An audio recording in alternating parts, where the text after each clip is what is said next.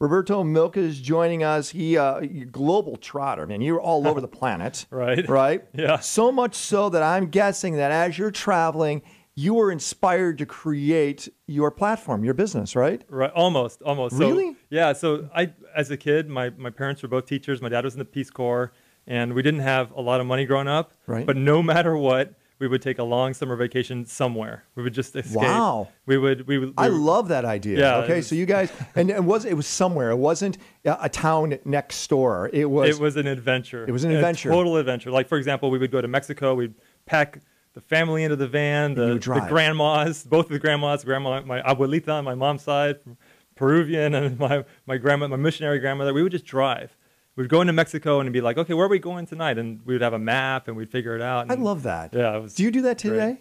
No, I don't. I mean, what I do is I, I never book more than two days in advance on a hotel when I get to a country. Okay. But I at least have the first two days. I mean, this was like crazier than that. It was just total adventure. Yeah, but, but it but it set that whole beginning of adventure. Absolutely. Of taking risks Absolutely. and yeah. seeing through that Yeah. risk, which is Yes. really, really Yes. critical. Yeah. So, Roberto, as you're doing this, you're starting to see the world, see the planet. Yes. Um, yes. wh- when did this whole idea of creating a marketplace for artisans come from? Well, I think so. So in those travels, one of the things that we did see a lot is poverty. We, we saw, you know, we Mm-hmm. traveled a lot through developing nations, and you see that, and so there was a there was a built-in sensitivity to that.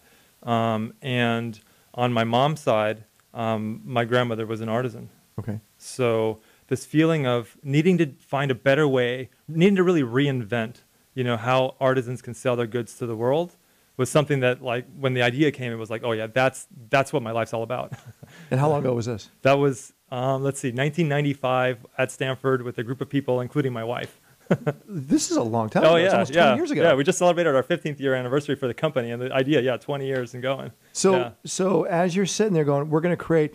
What was the platform initially? Because 1995, I mean, we're just looking right there at when Yeah. Yahoo got going. Right. And it was yahoo.edu. No, it Yeah, was. It was. I mean, you're right there at the very beginning. Speaking of Yahoo, so the Mm-hmm. year uh, rewind one year, and um, Jerry and I are in Jerry Yang and I are in an entrepreneurial grants committee at, at the Stanford ASSU, and we're funding one student business on campus, right? Okay. and we get the finals and you know there's these great ideas there's a software idea there's a used cd store on campus and jerry's like you know what guys you guys should i mean this yahoo thing and it wasn't yahoo back then it was something else He's like you know there's something to it and and we ended up investing in the UCD store that was out of business like the next year and jerry got the softbank funded in like You it was like three or four months after that yeah I was with Gary Rochelle when he actually funded that when he got it going that uh, off of SoftBank. Yeah, right. It was a home run. Yeah. So did you Yeah. did you create something while you were there then?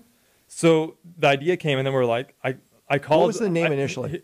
the uh, ooh, What was- Globe Shopper or Globe, Globe Shopper. or something like that. It's okay, yeah, it's yeah, okay. I- I like the iterations yeah, it goes yeah, through. Yeah. Okay, But, Roberto. but so at that point, um, my girlfriend at the time, not my wife, my wife now, I did the riskiest thing anyone can do. What was that? I got her mom on board. my girlfriend's mom, you know, Before you got her Before, yeah. So it was the United. She was with the UN. She was a human rights officer with the UN. You're crazy. that is that is pretty crazy. Yeah. Yeah. And so we called her up and we're like, look, we have this idea to transform the way artisans sell. And she's like, this is great. If you guys can get the money to do this, then I'll leave the UN and I'll join on. I'll join you guys. And so then I was like, oh my god, I was thinking about law school. I, I really, I was lost, honestly. I was an entrepreneur at heart. I had already done several little things at Stanford, like fun entrepreneurial activities, and that's what I had. And I just didn't know what, where I was going in my life. And then suddenly I had direction. I was like, okay, I need to get into So investment you're like banking. 20 years old, right? I'm 20, yeah. I'm 20 years old. Yeah, And you said, "Hey, let's create this platform with my girlfriend's mom." right. my brother was in there, and you know there was All other family. extended family. Yeah, my my roommate, my college roommate. Yeah. So, yes, yes. how long did it take till you? And it sounds like initially it was a directory service. Right. Well, so no. So check it out. So we no, we didn't want it to be that. We wanted Okay. it to be a, a whole an infrastructure. Okay, because e-commerce wasn't available back Yeah. then yet. Well, it was you know it was just that it was just getting there. You know, Okay. so um, the our concept was um, was al- always it was thinking big from the beginning, and we're like we can't do this unless we raise money. So that's why I went into inv- investment banking and I incubated the idea for almost five years. Now it makes more sense. Okay. Yeah. So that so the idea, and I re- really recommend. One thing I tell people is get skills. If you don't have the skills, just get the skills. You know, work for free. It doesn't matter. Get if you know, if you have an idea in a certain area, you know, really try to focus on how do I get the skills that I need to start this up. And in my case, we, we knew we needed to raise money, so I went in investment banking. I didn't work for free, but No, but you, you I did went, work my you butt went off. to school. Yeah, then you went to investment banking, understood the ins and outs of Yeah. fundraising, which I'm very interested as we move forward in the conversation. The platform today is called Novica.com. Novica.com, which Yeah. stands for Uh, so we wanted a name that can be pronounced in almost any country in any language, and so we went consonant vowel patterns, kind of like Coca-Cola. okay. And so, and and the root for for uh, for new, because we're building a new platform, in, in Latin is novus, so it was like Novica. Novica, Yeah, okay. Novica.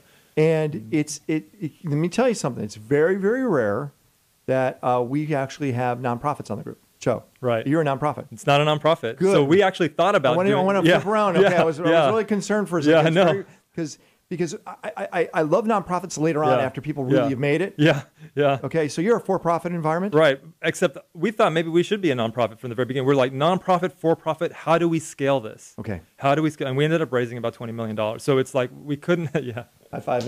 All right. Yeah. Wow. So yeah, yeah. So we couldn't have done that Back as a in nonprofit. wait, 15 years ago. From from the '99 to like 2003, and, and like 20 we did million. like seven rounds of financing. And you went the yeah. roller coaster ride, Roberto, of Yes. the the dot com crash. Yes. Oh yeah. I mean, Yeah, yeah, yeah. 2003 was Yeah. dismal. 2001 was. Were you was- up in San Francisco? No, Up no, no, no, Were no we weren't. We were down here. The, Okay. We started in a basement in Santa Monica, and um, we opened the home offices around the world, and it's grown. Now we- it's like a you know, four-story office in Peru, and we've got. I got to tell you, I went to yeah. the site. That's a beautiful Oh, site. thanks. Yeah. Novica.com. Yeah, It's yeah. N O V I C A dot com. It's a beautiful site. And I'm really into Balinese art. And you got a great marketplace for Oh. Balinese art out there. Um, and just global art from, from jewelry to fashion to home decorations, paintings, unique gifts. This is an amazing, quite frankly, I'm kind of surprised something like Amazon hasn't bought you. No, I'm right. serious. Yeah. Right? Yeah. Because it seems like this would be a perfect environment Yeah. with inside Yeah. Amazon. Right. What do you, and I use the term speed to cool. That's your elevator pitch, okay? Right, yeah. Speed to cool means I'm going to say cool if it's a great idea within about 10 seconds. What's your speed to cool? Wait, I didn't get that. What's your elevator pitch? Oh, my elevator pitch. Okay. So we work with artisans around the world. Mm-hmm. Um, we completely reinvent import export. And so we've created this new platform that's never existed before uh, to sell goods to, to people around the world. And so National Geographic has come on board, the World Bank. Um, we've got all these kind of A-list, uh, Those are A-list backers. That's and- cool. yeah, But what, yeah, why are yeah. they behind you? Well, we're going to find out when we come back. Roberto Milk's going to help us understand exactly why a platform like this not just exists, but why it flourishes and does real well. And then later on, empowering women with Liz Heller. I'm Ken Rutkowski. Listen to Business Rockstars. You got to get criticized when you're an entrepreneur. It just happens that way. I'm Ken Rutkowski, Business Rockstars. We get to share time with rock stars that have made it. We learn from them what it takes to start, grow, and fund their business. We're here to help you make your dreams come true. It's time to make entrepreneurship look easy. 855 Rockstar. Give us a call. I have a feeling Charlie would pick up the phone. He's one of the guys producing the show. Steve and Charlie make it work really well. If you go to the website, you could actually see what's happening right now. That's businessrockstars.com. Roberto Milk is joining us. How many countries? Uh, eight countries. You've been no, how many countries have you been to? Oh, 50. Wow, maybe. just Yeah. traveling Yeah, the globe, yeah, right? Yeah, yeah. the traveling place, glo- yeah. the globe. Investment banker. You raised 20 million bucks to get this platform going. You're celebrating your 15th anniversary. Yeah. It's Novica.com. Uh, you've partnered with some really big names. UNICEF, I think you said earlier, National Geographic. The site's beautiful. Does it make money? Yeah, yeah, it does. Yeah. So Yeah, it's a for-profit business. Does it make money for the artisans? That's uh, yeah, that's the best part of it. And the artisans have never had a system where they actually name their price and it's totally transparent. Oh. So they they can increase their price, decrease their price. They immediately see what the retail is for the customers. They're driving their business. And one of the funny things that they think is the coolest is the microcredit loans. We hooked up with Kiva. And I so just you mentioned can- Kiva earlier. Yeah, I love you? Kiva. Yeah, so you can lend to our artisans on Kiva. And it's 0% all the way through. It's 0% at Kiva, it's 0% through us. We're, we're the. Roberto, this is amazing. Yeah, it's No, cool. no, it's so Yeah. good that you should be working with governments. Right. You know, yeah. I, I'm, do you know? Um, so I'm looking at what you're doing right now, and you're at a level to where you've perfected it. It sounds like you got a really Right. working. How do you market it to the artisans in the areas that you go to? Well, see, that's not that hard because what happens is the artisans, through word of mouth, th- it just gets out there really fast. So we actually have artisans coming into our offices. Um, they're they're we have to work with the very best artisans. So Ah. if they're not quite at the level, then we, we say, okay, um, we accept it right now about one in three. We're like, okay, So you you, have what? to get them to a point to where their artwork right. is accepted by your platform. Exactly, because that that's the way we've been able to build a company. That's It's, a lot of it's curation. empowering artisans, but at the same time, those artisans have to be, you know, talented enough to be able to empower. But that's a lot of curation on Yeah. your behalf then. Mm, Because you have well, to not so much because no? at the very beginning we're we're saying yes or no to the artisan, and then once they're in, they're in. No, but I'm Right. saying before that, Oh, you have yeah, to determine yeah, what's good. You know what I mean? That's curating. Right. Do you know Eve Blossom? So Eve created Lulan. Lulan goes into areas where there's a, a lot of uh, um, um, human trafficking, Mm-hmm, right? And what she does is she gets the women out of human trafficking by teaching them how to weave Mm. and produce products. And now the products are sold in places like Walmart and are. Wow, and cool. So she helps them do that. But her problem was how do I find a marketplace? It sounds like you've you've gone out there and made people rely on their skills so they don't have to fall into areas that probably wouldn't benefit life. Oh yeah, I mean, I'm going to Peru in about a week With the one whole of the guys- family, with the the whole with, with my wife and the four kids. You're not driving there, right? I hope you're flying. that would be fun. I want. I do. That's on my bucket list. I want to drive. I want to drive all the way down Yeah. to uh, Tierra del Fuego is Oh, what I want to do. I mean, Yeah. that's yes, okay, same bucket, but you know, there, there's some problem ways, you know, right? Yeah, yeah. There's some areas that Yes. won't work well. Okay. Yes, yes, yes. Um, so um, I'm having dinner with one of our artisans in a week. Okay. And this is a guy Down Serap- there? Serapio Bajo in Peru. When are you leaving? And so uh, next Wednesday. okay, you're gonna Yeah. go down there. Okay, and you're gonna meet with them, and, And and this is a guy who, when we found him, he was um, struggling to sell a few tapestries a week through the mi- middlemen that sold through their through the uh, local markets there. And he was he had a dirt floor, lived in a in a um, what they call a pueblo joven in Lima. It's like a shanty town in Lima, Mm-hmm. um, and had a had a loom there. And now he's got that that place now has like 15 people working there. He's got he's got looms. all because of your platform. All be, the first year he went from making maybe two or three thousand dollars a year to like thirty thousand dollars a year, which is a lot of money in Peru. no, it's amazing. Yeah, you yeah, enabled yeah, that. Yeah. Oh yeah. Yeah.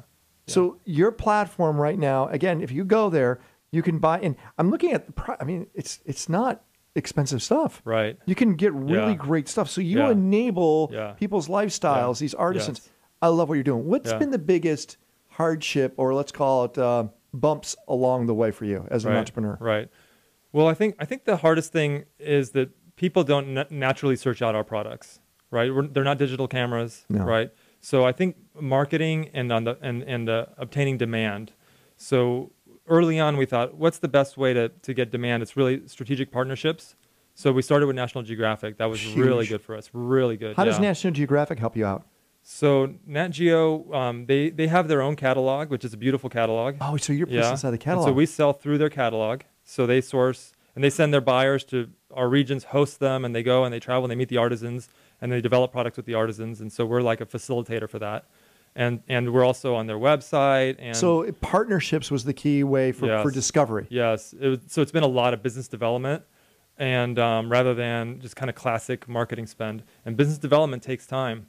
These partnerships take take time, but they're, it's been like one after another. I mean, the Kiva partnership, for example, almost a million dollars in loans just in the last year and a half. I love Kiva. I'm, again, my kids have Kiva accounts. I love this. As you look at where you're going, are you doing a, a give back at all to where so much a percentage goes back to a, so, a community or society? Well, what we're tracking is um, the amount that we send to artisans, because that, that money has a real trickle effect. It goes to the artisans, and it trickles to the communities, and the, Fair enough. You know, you're right. So so the um, we've sent over fifty million dollars to artisans. Five Yeah, zero. Five zero. 50 million. 50 million. Wow. And um, yeah, and and we also um, are now doing happy what we call happiness projects, and so those are um, community impact projects where and that's another thing we're doing in Peru um, next Saturday. You just love Peru, don't you? Yeah, we love Peru, but we love all the all the region. I mean, Bali, which you've been to. uh, I know, love Bali. Where else, love. where yeah. have you gone? Peru. Tha- Thailand is, is a Thailand. great great place. When we when, we go to Bali, we try to go to Thailand too. That's that's a great office See, what's important, Roberto, is main, are preserving that cultural integrity Right. so it doesn't get lost. Well, that's why National Geographic came on board, because right around the, the, the turn of the century, they were going through this thing where they thought, you know what, it's time not to just um, report on culture, but it's time to really preserve culture because they're disappearing. Culture's disappearing around the world. Globalization is like, I mean, we were just talking about the Starbucks that's in that's in Bali, Yeah, right? And so it's like globalization is everywhere, and the kids are not really wanting to learn this because there's no money in it.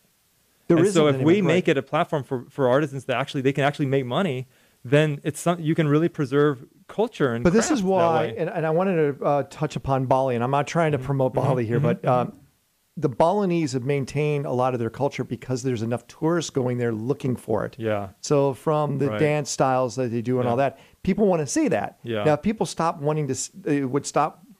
They don't want to pay for that anymore. That would disappear. Right. So we need to maintain these things so they can preserve the cultural Right. environment. Yes. So I, I, my, I don't. I'm not wearing a hat, but my hat's off to you to what you're doing. Right. And I like that you're making money doing this too. This is a, a real business. It's a Yeah. sounds like a pretty substantial, sustainable business, isn't it? yeah um, we have big big plans for it Like what? What's a big i mean we have billion dollar plans for it How do you turn this into a billion dollar entity? I mean, one of the things we're talking about internally is infrastructure everywhere. You know, we're in, we're in the end we're an infrastructure company. We have built offices out where the artisans are. Mm-hmm. So how do we how can we be where every artisan is all around the world?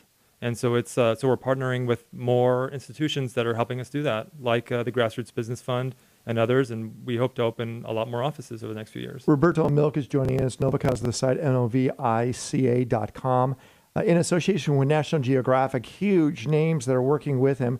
And it's all around local art in countries probably that you have, seen the art and you thought you probably have to travel there to get it. You can actually get it right through the site. How long does it take to get something? It can take as little as three days. yeah. Wow, you yeah. holding the inventory? Yeah. No, it's everything ships from the regional offices. Right. That's ama- so That's our fast service. Ah, so Yeah. you've created localized offices Yes. for inventory control Yes, then. absolutely. There are warehouses where the artisans come in, leave their products, they get paid for what's sold. It's it's like a very efficient system. And every week, and now multiple times a week, from each of the offices, we're shipping these huge consolidated shipments come into the U.S. and they all go. They, they get distributed out to the yeah yes yeah I- I get a lot of people in the studio and I get excited about their business, but I don't get inspired as I'm inspired by what you're doing because you are preserving something that's so important. And again, I, I call it cultural integrity. And and and, nice, and, yeah. and a business like yours, making money and making sure our culture continues to thrive and move forward, that's not an easy thing to do, and you've done it. So, what other areas do you think? Like, for are you in Tibet? Are you in uh, parts of Mongolia? Are you in parts of Japan? You know, those no, we areas. want to, we want all those. We want to be. We want to Yeah, be. we India, want- you we're in India. India. We're in Delhi. You're in But Delhi. India is I- huge. We're in Delhi, and we're just in Delhi, and you know, the the the the one day radius around Delhi. Got it. So you it's- know, it's so small area Yeah, we need to do satellites there. Satellite. Ethiopia. No. you know, someday. South America. I mean, these are Yeah, areas where yeah. the artwork is so important. You want to maintain it, right? Yes, absolutely. South America. We're also in Brazil. Brazil's an important Yeah. one, but you Mhm. mentioned Peru, but Chile's got amazing artwork. Amazing. You know, Yes. you, you just Yes. you, you got. Yeah. How do you do this then? How do you open up these offices? Do you have to have a sponsor, or does it come out of your budget to actually open these local? Well, we've been do, we've been doing them ourselves, but also the last one we partnered with um, the Grassroots Business Fund, and our customers chipped in for it. So the customers, um, you know, they came in and they, it was almost like a crowdfunding, you know, for the for that Central America office that's in based in Guatemala, but it's servicing a lot of different countries there. And then also there's the export bureaus. So um, various people from the Philippines and from the and from Vietnam, the government's saying, wow, by having um, a, a, a presence on Novica, we actually get to have um, tourists. We get to have interest in our country. It's like it's like if they help us with the little amount that it costs to open an office, then um, So, then we can. are you working with local the tourism departments of those different countries? We're talking to them. Yeah. because it seems like they're, they obviously they have a, they have a lot of money. They a have lot money, tourists yeah, yeah. just just Colombia alone. Let me just use this as an example. Okay, Yeah. Colombia has a massive tourist budget. Yeah. most people don't know, and they generally don't know how to spend it properly. By Right. introducing people to their culture and their Right. art, for probably be more people to Yeah. Cartagena and Bogota Yeah. than they would ever expect. every single item that people buy from us comes with a hand signed postcard. So you you get to see, you know, it's like, oh wow, I, I bought something from Peru, came from Peru, and here's a picture of Machu Picchu with a hand sign. So it's like it really wakes up personal. this interest in going to going It to the really country. is. Yeah. Do you do stuffers inside the stuff? So, for example, this is where the tourism departments could actually be part of it. So, when you get something from Peru, something from the Peruvian tourism Oh yeah, Uh, we, we we don't do that, but that's do a, interesting. Do a yeah. stuffer, right? Yeah, And get right. or, or some type right. of benefit. So when Yeah. they come Yeah. to those areas, like when you travel, you notice when you get to an activity center, like in Yeah. a country, they want Yeah. you to do all these activities. Yeah. Stuff it. Yeah, we could do that. Yeah, They'd pay That's a good for it, idea. right? Yeah, yes, yeah, that's great. Roberto, yeah. I love what you're doing. Um, again, people want to find out more. What's the website? Novica.com, N O V I C A.com. And uh, right now, how many countries? Eight countries. Eight countries, and you've been breaking it up from occasions to gifts for her, for him. Uh, from jewelry to things you could wear, put in, the, uh, uh, in your home. It's all there. Right. I really appreciate you spending time with us. I think you're actually going to stick around. We're going to